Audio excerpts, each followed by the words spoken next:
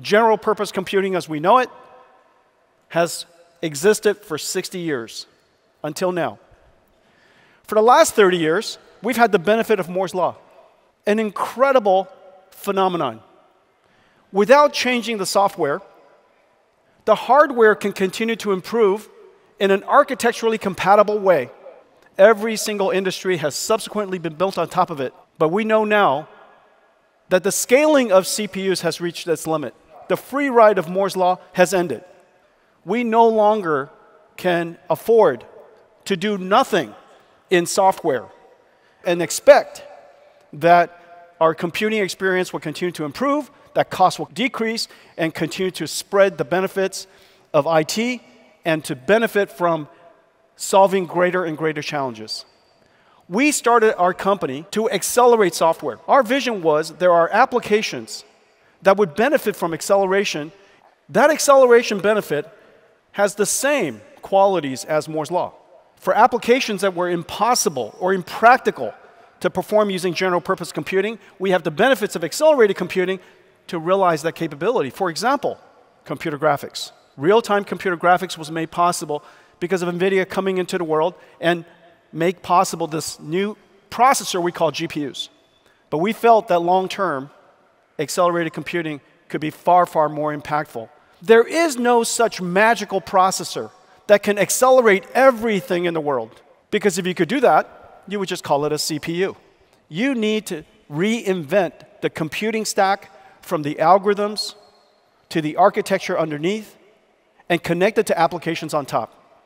In one domain after another domain, computer graphics is a beginning, but we've taken this CUDA architecture from one industry after another industry after another industry. Today, we accelerate so many important industries. cuLitho is fundamental to semiconductor manufacturing, computational lithography, simulation, computer-aided engineering, quantum computing, so that we can invent the future of computing with classical, quantum, hybrid computing. In each one of these different libraries, we're able to accelerate the application 20, 30, 50 times. Of course, it takes a rewrite of software, which is the reason why it's taken so long.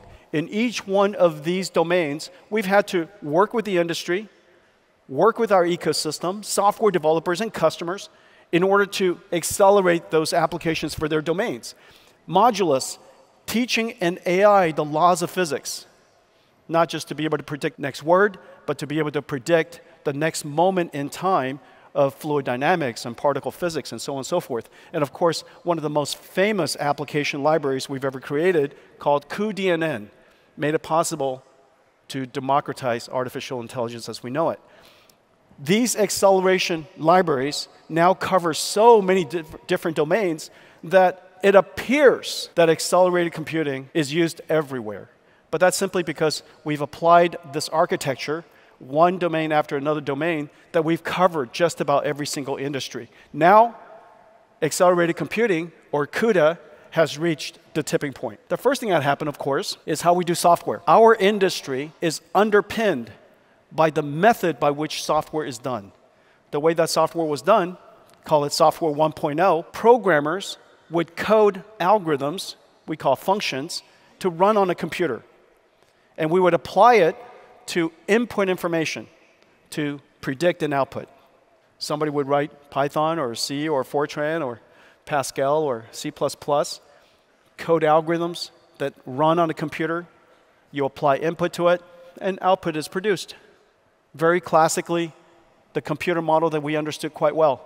However, that approach of developing software has been disrupted. It is now not coding, but machine learning.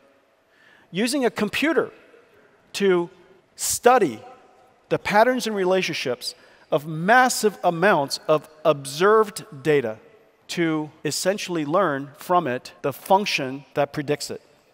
And so we are essentially designing a universal function approximator using machines to learn the expected output that would produce such a function. And so going back and forth, looking, this is software 1.0 with human coding to now software 2.0 using machine learning.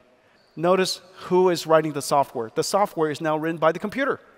And after you're done training the model, you inference the model. You then apply that function now as the input, that deep learning model, that computer vision model, speech understanding model, is now an input neural network that goes into the GPU that can now make a prediction given new input, unobserved input. And we have gone from coding to machine learning, from developing software to creating artificial intelligence, and from software that prefers to run on CPUs to now neural networks that runs best on GPUs. This, at its core, is what happened to our industry in the last 10 years. We have now seen a complete reinvention of the computing stack. The whole technology stack has been reinvented. The hardware, the way that software is developed, and what software can do is now fundamentally different. We dedicated ourselves to advance this field. And so this is what we now build. Initially, we were building GPUs that fit into a PCI Express card that goes into your PC. This is what a GPU looks like today. This is Blackwell. Yeah, thank you. A massive system designed to study data at an enormous scale so that we could discover patterns and relationships and learn the meaning of the data. This is the Greek breakthrough. In the last several years, we have now learned the representation or the meaning of words and numbers and images and pixels and videos, chemicals, proteins, amino acids, fluid patterns, particle physics. We have now learned the meaning of so many different types of data. We have learned to represent information in so many different modalities. Not only have we learned the meaning of it, we can translate it to another modality. So, one great example, of course, is translating English to Hindi, translating English, large body of text, into other English, summarization, from pixels to image, image recognition, from words to pixels, image generation, from images, uh, videos to words, captioning, from words to proteins used for drug discovery, from words to chemicals, discovering new compounds, all because of this one instrument that made it possible for us to study data at enormous scales. Well, I just want to say that in order to build the Blackwell system, of course, the Blackwell GPU is involved, but it takes seven other chips. TSMC manufacture all of these chips, and they're just doing an extraordinary job ramping the Blackwell system. Blackwell is in full production, and we're expecting to deliver in volume production in Q4. And so this is basically Blackwell. Now, this is one of the things that's really incredible about the system. Let me show it to you. Oh, nothing's easy this morning.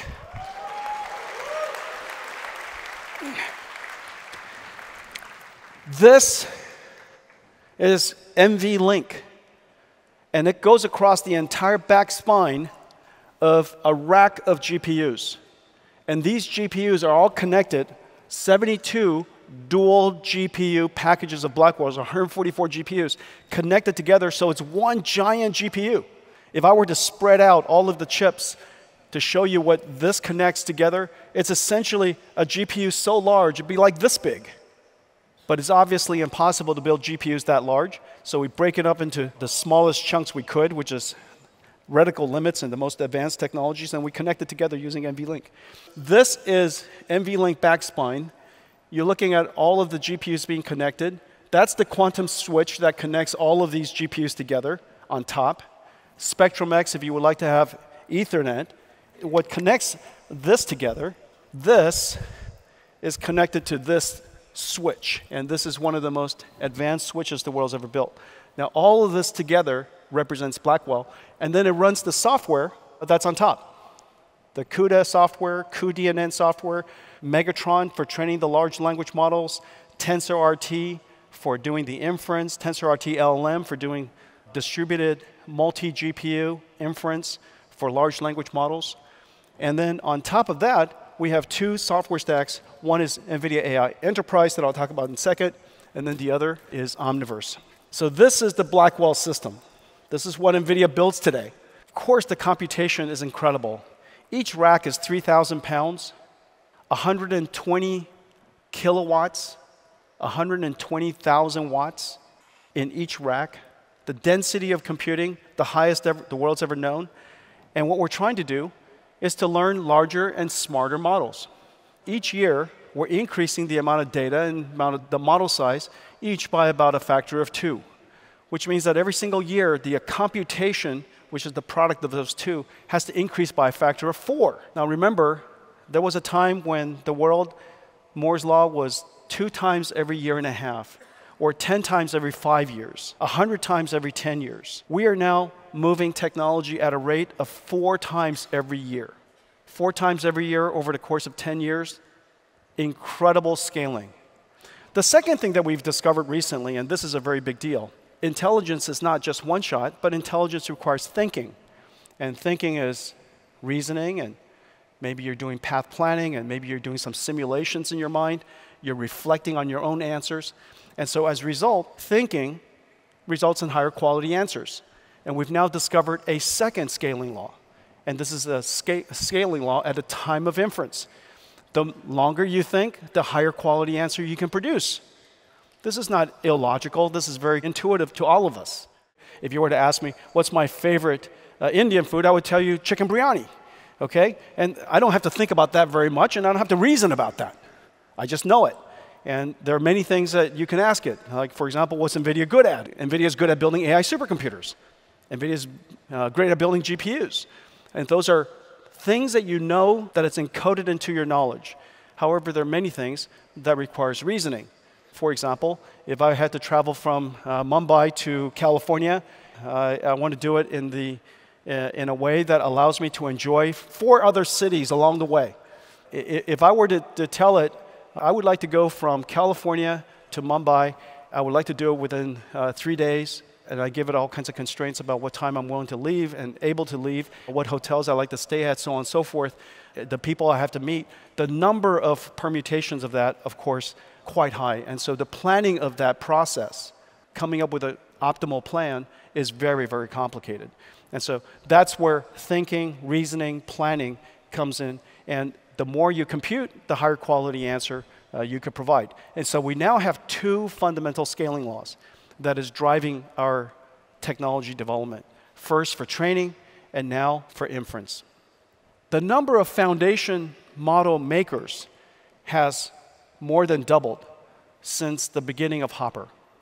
There are more companies that realize that fundamental intelligence is vital to their company and that they have to build foundation model technology. And second, the size of the models have increased by 20, 30, 40x the amount of computation necessary to train these models because of uh, the size of the models, but also multimodality capability, reinforcement learning capability, synthetic data generation capability. The amount of data that we use to train these models has really grown tremendously. That's one. And then the other reason, of course, is that Blackwell is also used for generating tokens at incredible speeds. And so together, all of these factors has led to the demand for Blackwell being incredibly high. Let's talk about now how we're going to use this technology. Earlier, I told you that we have Blackwell, we have all of the libraries, acceleration libraries that we were talking about before, but on top, there are two very important platforms we're working on. One of them is called NVIDIA AI Enterprise, and the other one is called NVIDIA Omniverse, and I'll explain each one of them very quick, quickly. First, NVIDIA AI Enterprise. This is a time now where the large language models and the fundamental AI capabilities have reached a level of capabilities we're able to now create what is called agents. Large language models that understand the data that, of course, is being presented. It could be streaming data, it could be video data, language model data, it could be data of all kinds. The first stage is perception. The second is reasoning about, given its observations, what is the mission and what is the task it has to perform in order to perform that task, the agent would break down that task into steps of other tasks. And uh, it would reason about what it would take, and it would connect with other AI models Maybe it's a model that understands how to generate images. Maybe it's a model that is able to retrieve AI semantic data from a proprietary database. So each one of these large language models are connected to the central reasoning large language model we call agent. And so these agents are able to perform all kinds of tasks. Uh, some of them are maybe uh, marketing agents, some of them are customer service agents, some of them are chip design agents. NVIDIA has chip design agents all over our company helping us design chips. And so we're going to have agents that are helping our employees become super employees. These agents or agentic AI models uh, augment all of our employees to supercharge them, make them more productive. Now, when you think about these agents, it's really the way you would bring these agents into your company is not unlike the way you would onboard uh, someone uh, who's a new employee. You have to give them training curriculum, uh, you evaluate them, and so there are evaluation systems, and you might guardrail them. If you're an accounting agent, uh, don't do marketing, and so each one of these agents are guardrailed. That entire process we put into essentially an agent life cycle suite of libraries. And so this is what we call NVIDIA NeMo. We have, on the one hand, the libraries. On the other hand, what comes out of the output of it is a API inference microservice we call NIMS. Essentially, this is a factory that builds AIs.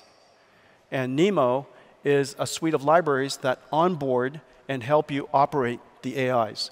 And ultimately, your goal is to create a whole bunch of agents. The next generation of IT is going to be about producing and delivery of AI.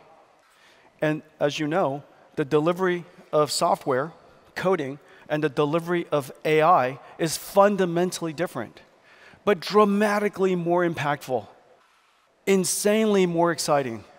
The second part is this what happens after agents? Now remember, every single company has employees, but most companies, the goal is to build something, to produce something, to make something. Could be factories, it could be warehouses, it could be cars and planes and trains and uh, ships, all kinds of things. That next generation of AI needs to understand the physical world. We call it physical AI. In order to create physical AI, we need three computers, and we created three computers to do so. The DGX computer, which Blackwell, for example, is, is a reference design, and architecture for, to create things like DGX computers for training the model. That model needs a place to be refined. It needs a place to learn. It needs the place to apply its physical capability, its robotics capability. We call that Omniverse, a virtual world that obeys the laws of physics where robots can learn to be robots. And then when you're done with the training of it, that AI model could then run in the actual robotic system. That robotic system could be a car, it could be a robot, it could be AV, it could be an autonomous moving robot, it could be a picking arm, uh, it could be an entire factory or an entire warehouse that's robotic. And that computer we call AGX, Jetson AGX, DGX for training, and then Omniverse for doing the digital twin. Start locally, grow globally. Right. Right, that's fantastic. Okay. Thank you, thank you. Thank you very much, Michelle. Thank you. Thank you.